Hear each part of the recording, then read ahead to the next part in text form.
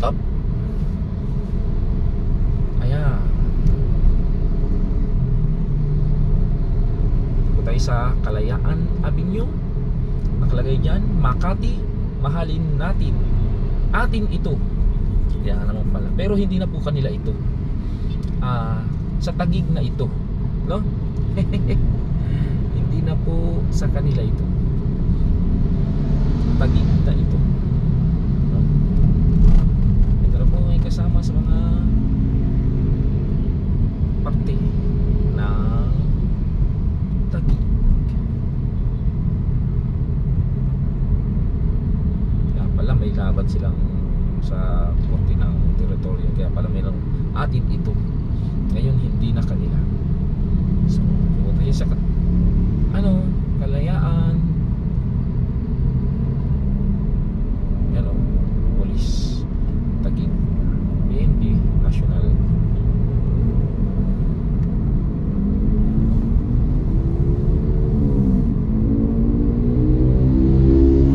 Yan. Maluwag-luwag pa ang kalsada kahit pa paano.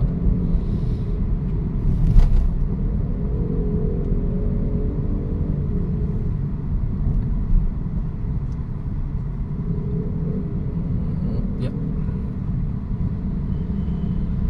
Ito karaniwan nagkakaroon ng traffic sa bandang sa dito sa area na to.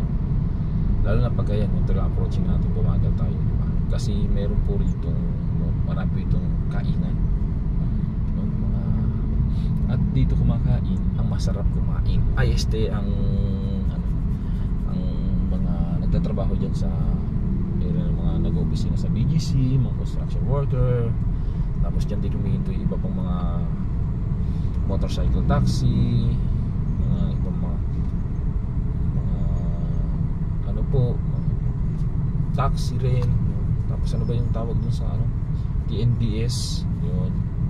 Tsaka syempre may mga private din. Tsaka yung mga nandito lang sa paligid na nakatira. Syempre mas malaking ano yung mga nandito nagtatrabaho sa kaliwa.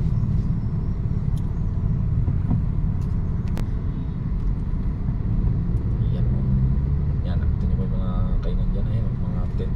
Parang ang tawag to, yung extended parang tent, gano'n. Tarapal. Mga nakabilang motor. Meron ding taxi, ayun. Takpan lang.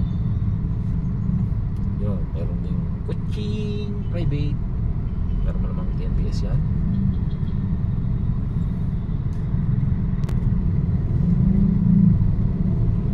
Tapos ayan, mayroong isang subdivision dito, Bilya Kalayaan.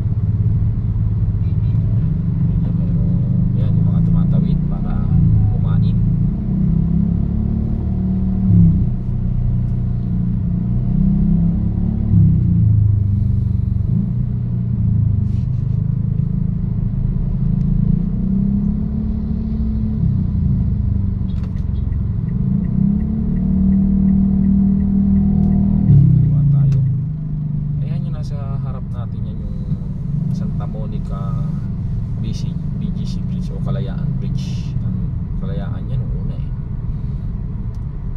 BGC Kalayaan. So ayan. Dire-diretso po yan.